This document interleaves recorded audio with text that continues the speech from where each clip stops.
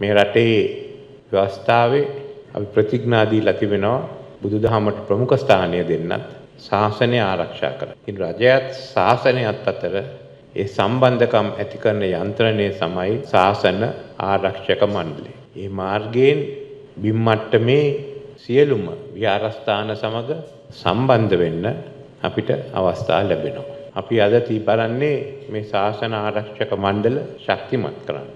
ශාසන ආරක්ෂක මණ්ඩලය ආරම්භ කරපු කාලවලට වඩා අද විශාල වැඩ කොටසක් තියෙනවා. තියෙන විහාරස්ථාන සංඛ්‍යාවත් වැඩි වෙලා තියෙනවා. ඒ නිසා යම් කිසි පරිපාලන කටයුත්තක් කරන්නට සිදු වෙනවා. ඒ කරන්නට උවමනා උපකරණ හොඳම එක තමයි ලැප්ටොප් යන්ත්‍රය. ඒ නිසා ඒ ලේකාධිකාරී ස්වාමීන් වහන්සේගේ ඒ වැඩ කටයුතු කරන්නට ඒ ලැප්ටොප් යන්ත්‍ර ලබා දෙන්න තීරණය කළා. මේකෙන් බලාපොරොත්තු වෙනවා මේ දිස්ත්‍රික්කය තුළ තිබෙන විහාරස්ථාන අතර සම්බන්ධකම තවත් දියුණු වෙයි කියලා.